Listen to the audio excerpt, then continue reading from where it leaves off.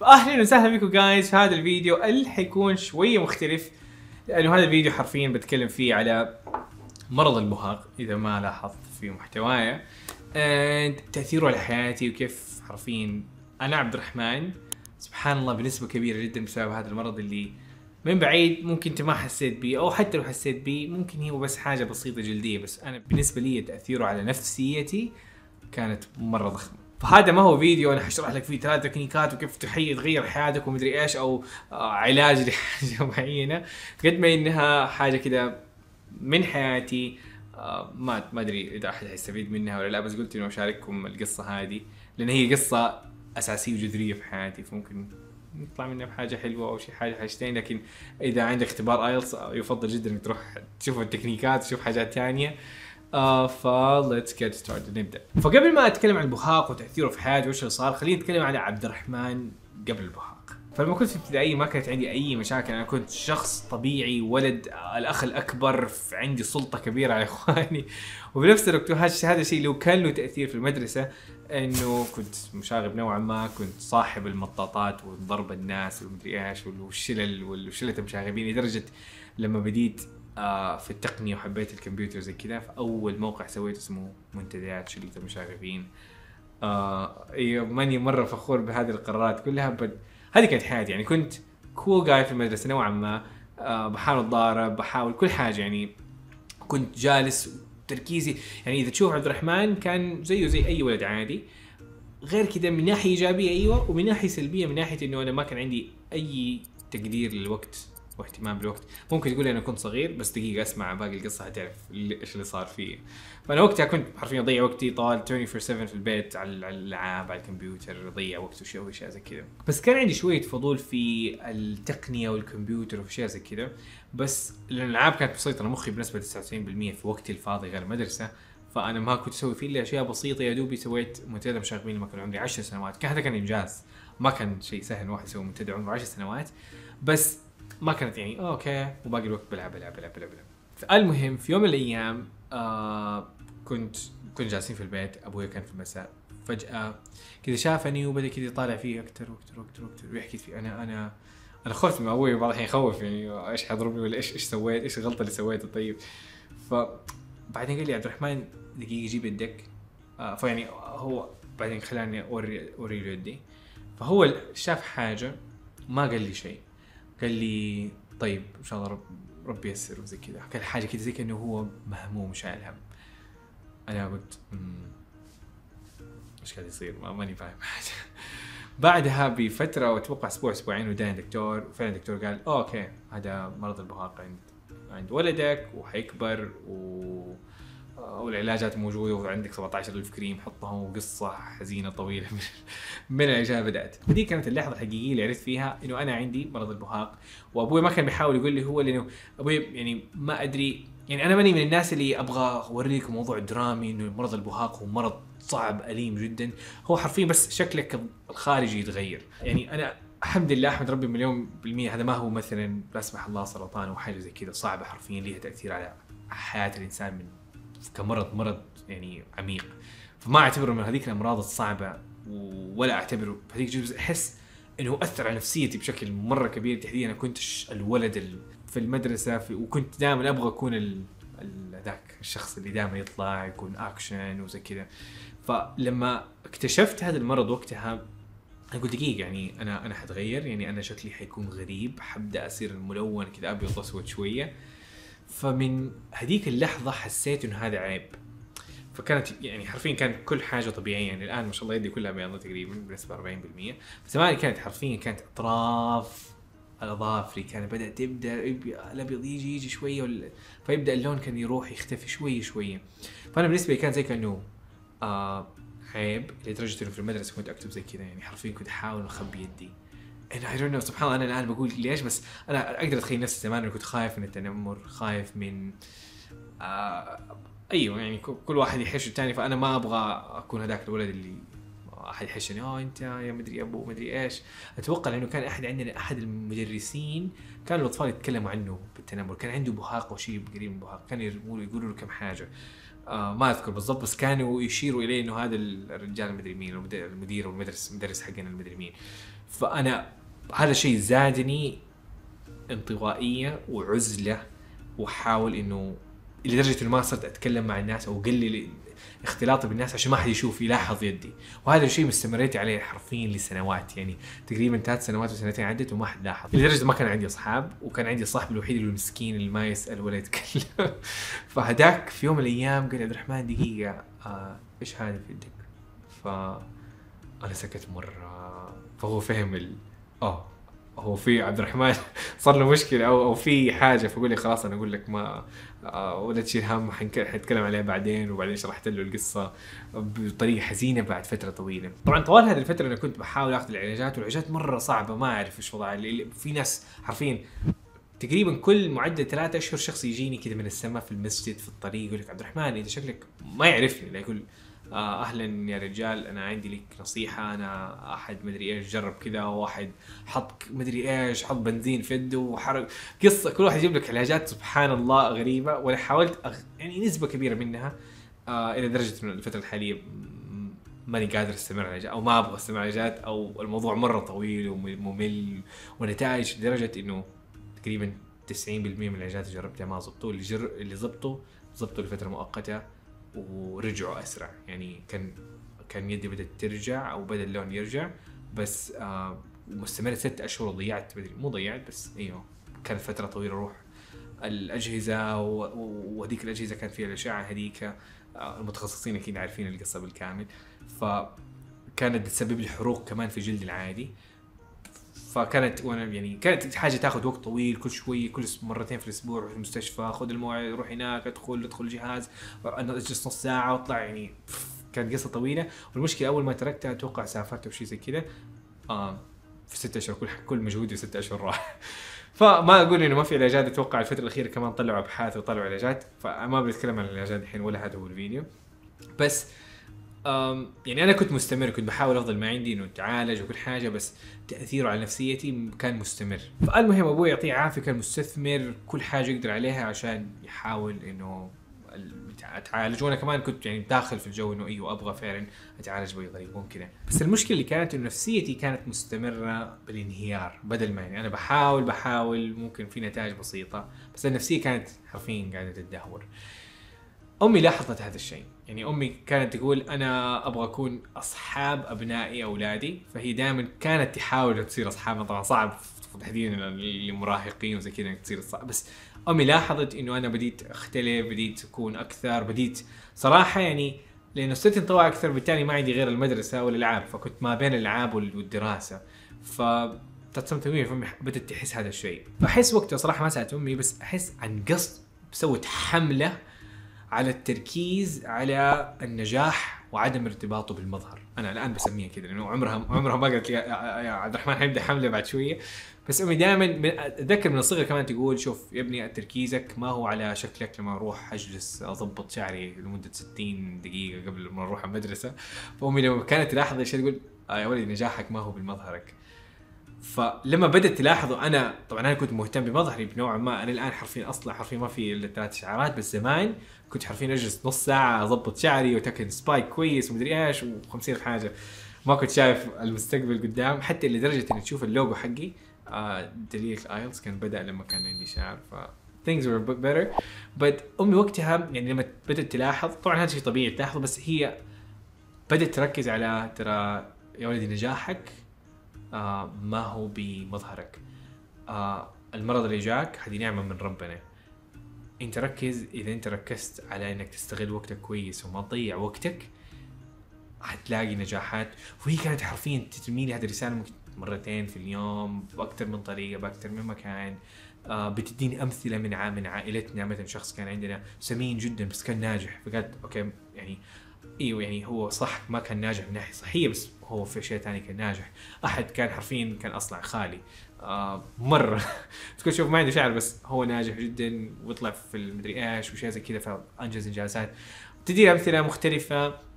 ومن هناك بديت يعني بدأ الموضوع شوية شوية يدخل في مخي. بس بالرغم من كذا الموضوع ما كان سهل. يعني أنا حرفيا مثلا أنا في مكان نفترض أنا في المسجد أكيد أغلب الناس اللي بتتفرج على الفيديو ما هم متعودين على أحد يتفرج كذا كذا بيشوف يدك كذا بتركيز. مم. أو بيحاول يشوفه وأنت ما أنت شايفه. فأنا immediately بلاحظ هذا الشيء. يعني بلاحظ هذا الشيء على طول. آه أوكي ففي هذا شخص بيتفرج علي وبيحاول يشوف إيش إيش الشيء ليش أنا مختلف؟ ليش إيش إيش بيدي؟ فهذه النظرات كانت مستمرة وتحديدا لما طبعا في نها- نهاية المتوسط الموضوع بدأ يزيد. ف... فكانت النظرات منها مستمرة حتى نقدهم بشكل بعض الناس كانوا محبيني صراحة. يا ابني خذ علاج وهذا علاج. بس هذا كان له تاثيره سلبي أكثر من إيجابي شوي. على نفسيتي إنه آه كيف الناس بيلاحظوا هذا عيب فيا وخلل في في مظهري مثلا. بس حبة حبة بدت يعني البذور اللي امي تزرعها تطلع شوية شوية قلت آه أنا إيش قاعد أسوي؟ أنا ليش أهتم بكلام الناس التانيين؟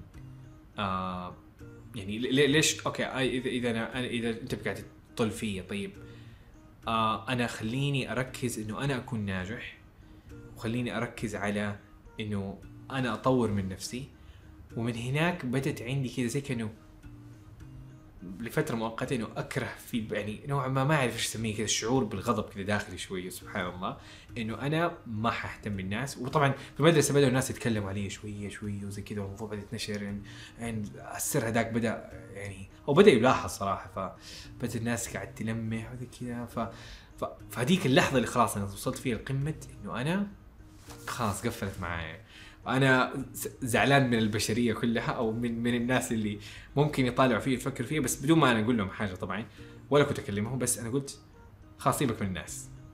اشتغل على نفسك وأنت أزرع نجاحك واشتغل على نجاحك وبعدين خلينا نشوف مين يفوز. أنت أيوه حش يعني سوي اللي تبغاه بس أنا أوريك. أديني عشر سنوات خمس سنوات أنا أقرأ كتب وأطور من نفسي و آه يعني زمان كنت أفكر فيها إنه أنا أسوي حاجة وحلقة محاضرة وأنت حتكون من أحد المدربين جوا فكرة كانت مرة مرة سيئة. بس كان هذاك الشعور اللي هو ما أعرف رده فعل طبيعيه وحاجه زي كذا. ف وقت إيش أروح جرير أو كنت بدأ يعني مكتبة جدي بديت أطلع كتب وأقرأ فيها. وكتب عن تطوير الذات عن تحسين عن طبعا كتب تطوير الذات حسيتها قريبة جدا مني لأنه هي كانت بتتكلم على كيف الواحد يفكر عن نفسه وعن الثقة بالناس وعن فهذه الأمور بدأت تديني تكنيكات ملموسة لأنه بالنسبة لي هذا الشيء ما كان طبيعي فيا وبدأت مهاراتي ال- الخارجية تختلف يعني ما صرت صرت انطوائي. فهذه الكتب تديني أفكار طرق لتطوير كتاب عادات السبع غير يعني واو أنا ممكن أكون مبادر ممكن أسوي كذا. فبدأت هذه مع إنه كانت مرة صعبه يعني أنا أنا في ثاني ثالث متوسط شيء زي كذا قاعد أقرأ هذه الكتب. آه صعبة لاحد يفهمها فكنت أقرأ الكتاب مرة مرتين اللي ما أفهمه. آه وخلاص وبنيت لي عبد الرحمن ما بين شوية ألعاب وبديت أقلل الالعاب شوية. قلت okay هذا التحدي خليني أوريك يا أبوي. طيب أوريك. احد يتريق علي أنا ساكت بس أقول لهم جوا امم okay خلينا نشوف. فبديت الوقت اللي كنت بضيعه أستغله في قراية كتب.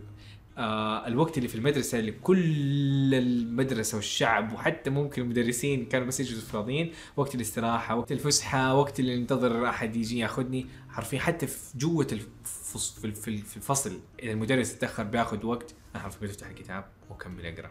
فأنا كنت شخص يعني ممكن تقول عبد الرحمن دافور بس إذا تشوف من جوا أنا ما كنت دافور. كان كان كانت خطة شريرة شوية. فمن هناك كنت بقرأ كل حاجة مفيدة قاعد تيجي بالي أطور من مهاراتي. ومن هناك كان أتوقع بدأ عندي شوية إنه آه okay عشان أنجح لازم اجتاز اللغة الإنجليزية. فبدات قصتي مع اللغة الإنجليزية من أول ثانوي. آه غالبا لهذا السبب. لأنه وقتها أحد يفكر في اللغة الإنجليزية ما كانت موجود كانت حاجة معدومه ما احد يفكر في اللغة الإنجليزية أنت تكمل الثانوي وانبسط واستمتع بحياتك كمل اختباراتك. وقتها كان اختبار ال IELTS أبعد من البعيد وقتها إنه احد يفكر في اختبار ال IELTS. بس أنا ما أدري كنت حاسس إنه أنا كنت مرة مركز على على إنه أبغى أركز على نجاحي المهني. فبصورة غير طبيعية بديت أشتغل على نجاحي المهني وتطوير مهاراتي المهنية من ثاني متوسط. Which was very weird يعني بالنسبة لي. فبعدين لاحظت إنه عندي هواية في التقنية. بديت أقرأ كتب البرمجة أشتغل على- البرمجة بعدين قلت okay أنا حبدأ مشروع. أخذت الكتاب كيف تبدأ مشروع؟ فمن هناك بديت okay أنا حسوي موقع لمطاعم. دخلت المطعم وقلت له أنا ممكن أسوي لكم موقع. ف... ف- رحت أكت... لفلفت كل الم- المطاعم اللي موجودة والمحلات اللي موجودة في. جنب بيتنا.